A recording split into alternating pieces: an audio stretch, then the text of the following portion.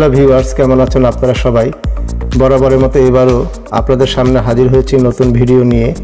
এবারের ভিডিও কক্সবাজারের মেরিন ড্রাইভের পাটওয়ার টেক সমুদ্র সৈকত। আশা করি আপনাদের সবার ভালো লাগবে ভিডিওটি।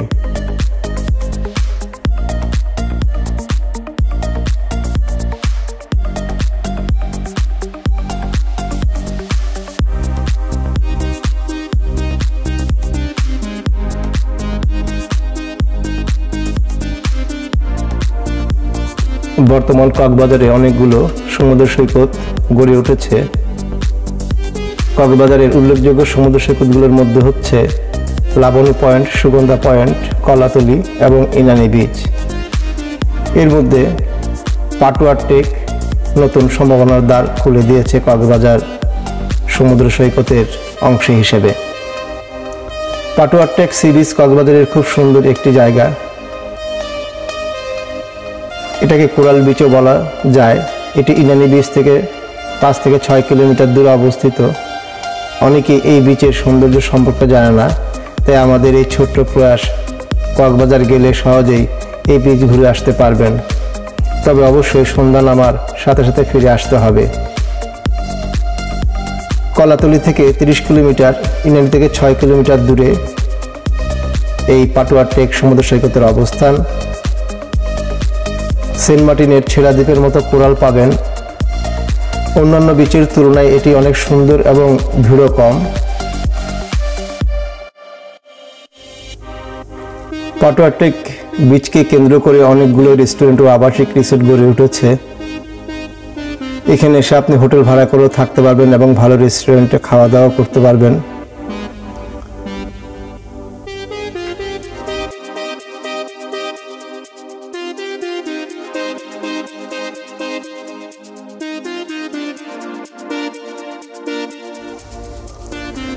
কীভাবে আসবেন এই পাটুয়াটেক সমুদ্র সৈকতে?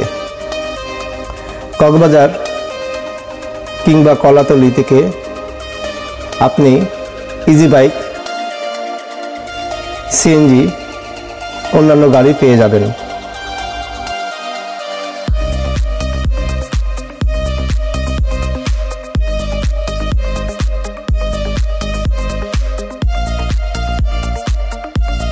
পাটোয়া টেক সমুদ্র সৈকত সত্যি খুব সুন্দর একটি জায়গা।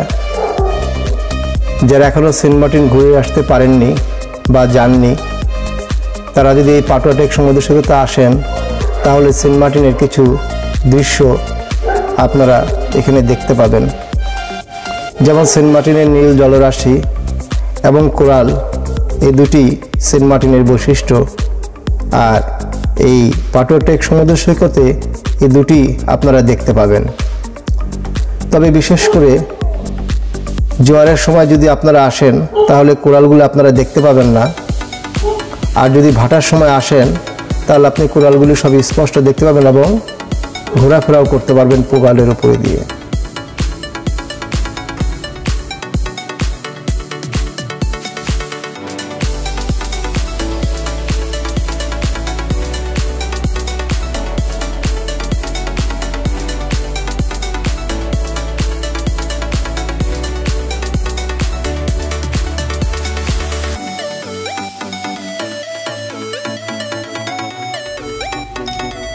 করে যখন আপনারা এই সমুদ্র সৈকতে ঘুরতে আসবেন, তখন জোয়ার ভাটার খবরটা নিয়ে আসবেন। কারণ ভাটা কখন হয়, এটা জেনে আপনাদেরকে এখানে আসতে হবে।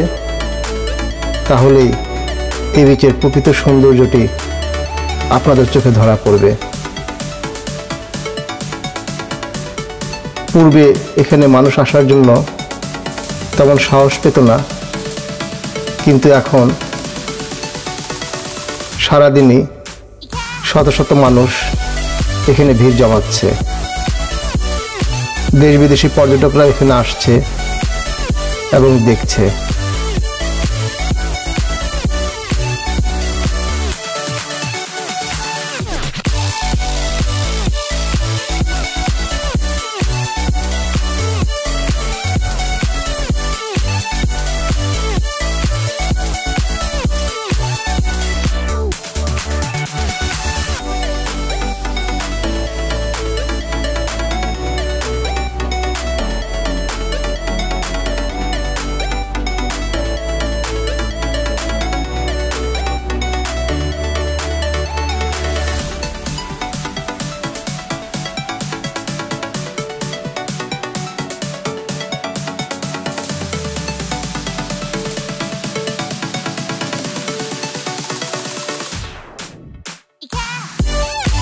সেন্ট মার্টিন দ্বীপের নীল জলরাশি আর প্রবাল দুটি এই পাটোয়ার টেক সমুদ্র সৈকতে দেখতে পাবেন এবং আপনাদের খুব ভালো লাগবে।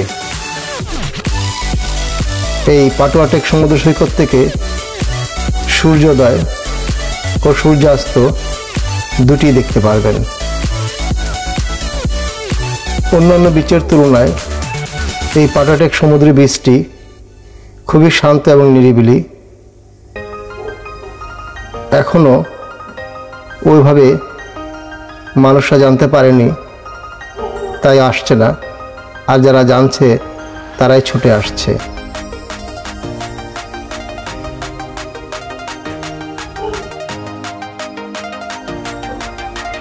পাটুয়ার টেক সমুদ্র সৈকতের এক পাশে পাহাড় আর অন্য পাশেই নীল জলরাশির সমুদ্র সৈকত। সত্যি দেখতে খুব সুন্দর। এখানে এসে আপনি গোসলও করতে পারবেন। পানি ছুঁয়ে আনন্দ উপলব্ধি করতে পারবেন। দিন দিন এই পাটাটেক সমুদ্র সৈকতটি চাঙ্গা হয়ে উঠছে। মানুষ যতই জানছে ততই ছুটে আসছে এই সমুদ্র সৈকতে।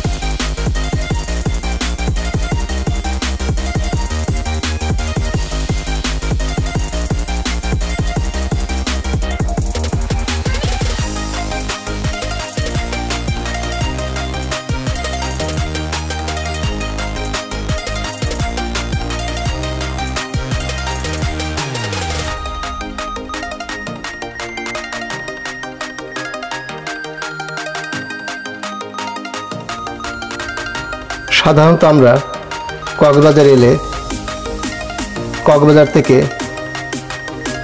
হিমছড়ি, ইনানি বিচ এই দুটি আমরা দেখে ব্যাক করে আবার কক্সবাজারে চলে আসি। কিন্তু এখন থেকে ইনানি বিচ থেকে পাঁচ ছয় কিলোমিটার দূরে অবস্থিত এই পাটোয়ার টেক সমুদ্র সৈকত। যা কিনা অন্যান্য সমুদ্র সৈকত থেকে সৌন্দর্যটি বেশি ধরে রেখেছে।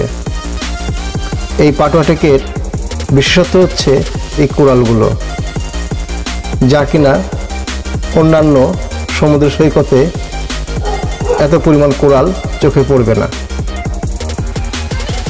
আর এই সব জায়গায় মানুষ কম আসাতে এখনও বিচের সৌন্দর্যটা খুব সুন্দর উপলব্ধি করা যায়।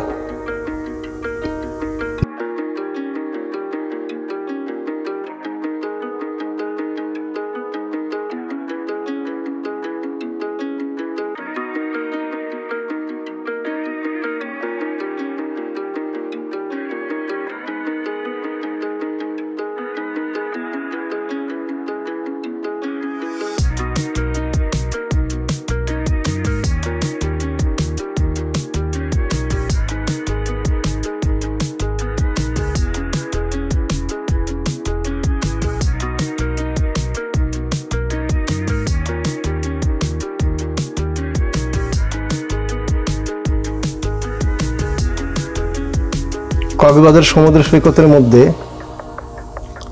পাটোয়া টেক সমুদ্র সৈকতটি সত্যি খুব অপূর্ব সুন্দর। যেহেতু এটি মেরিন ড্রাইভের ভিতরেই পড়েছে,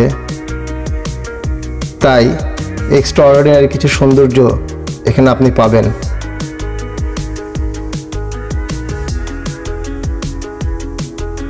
খুব সুন্দর একটি জায়গা বিনোদনের জন্য।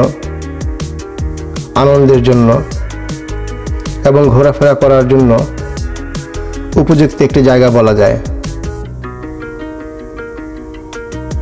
তবে বিশেষ করে জ্বরের সময় এলে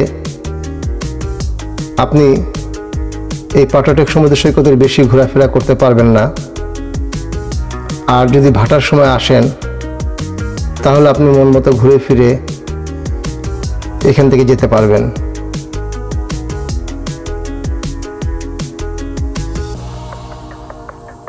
হ্যালো ভিউয়ার্স,